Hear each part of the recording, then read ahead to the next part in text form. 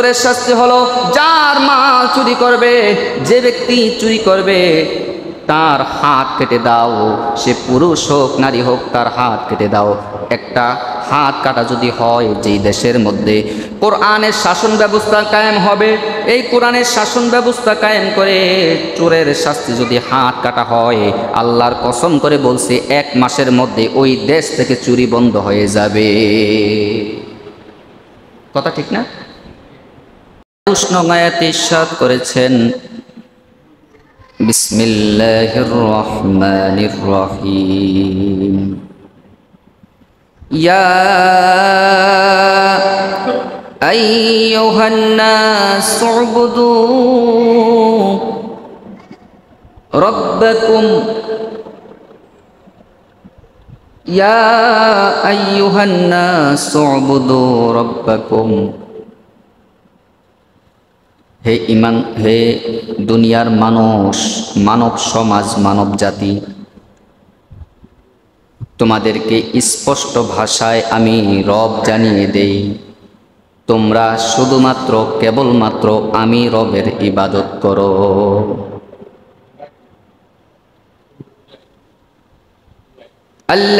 খলাকাকুম, যেই রব আমি তো সেই রব। আমি এমন একজন রব, যেই রব তোমাদেরকে সৃষ্টি করেছি এবং তোমাদের পূর্বের যারা যারা ছিল তাদেরকেও সৃষ্টি করেছি।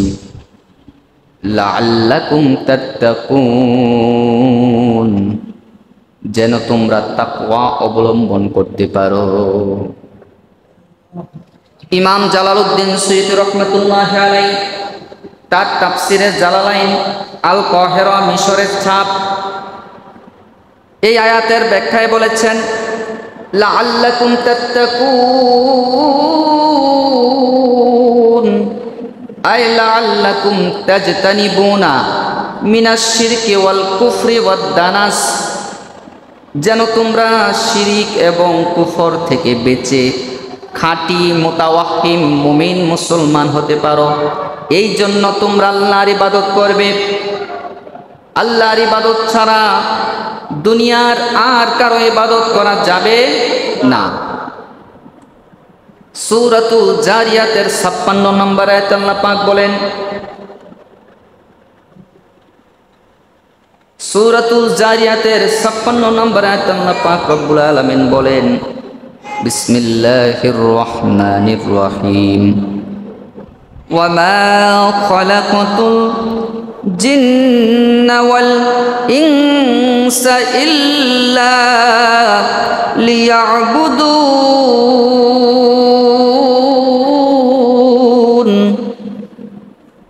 আমি মানব জাতিকে সৃষ্টি করেছি শুধুমাত্র আমি আল্লাহর ইবাদত করার জন্য এই দুনিয়াতে তোমাদেরকে পাঠানোর উদ্দেশ্যই হচ্ছে আমি রবের ইবাদত করার জন্য আর আমার রসুলের আনুগত্য করার জন্য, রসুলের সুন্নত মোতাবেক জিন্দিগি পরিচালনা করার জন্য।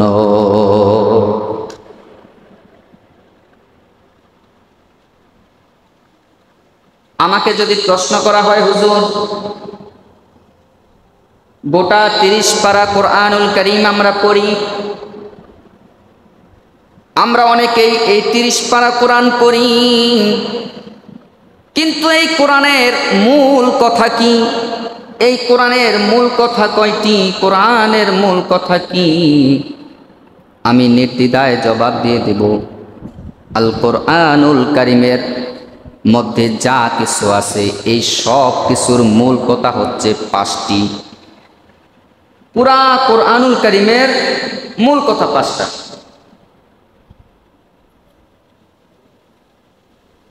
শুধু এটা আমার কথা নয়।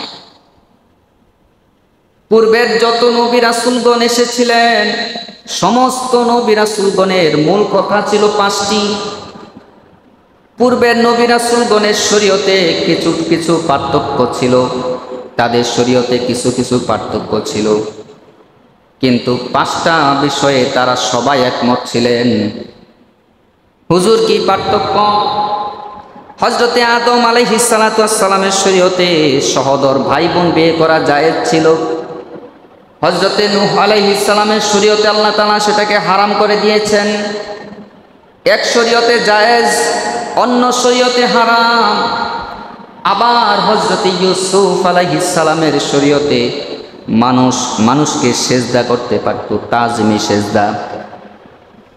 কিন্তু আপনার নবী আমার নবী, রহমাতুল্লিল আলমিন, নবী মোহাম্মদুর রসুল্লাহ সাল্লাল্লাহু আলাইহি ওয়াসাল্লামের শরীয়তে আল্লাহ ছাড়া গাইরুল্লাহকে সেজদা করা হারাম এবং শিরিক।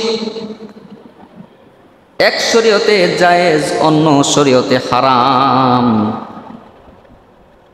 হজরতে ইয়াকুব আলাইহিস সালাম তার একজন সন্তান হচ্ছে হজরতে ইউসুফ আলাইহিসালাম ইয়াকুব আলাইহিসালাম এর শরীয়তে চোরের শাস্তি হচ্ছে যার মাল চুরি করবে তাকে ডবল ফেরত দিতে হবে।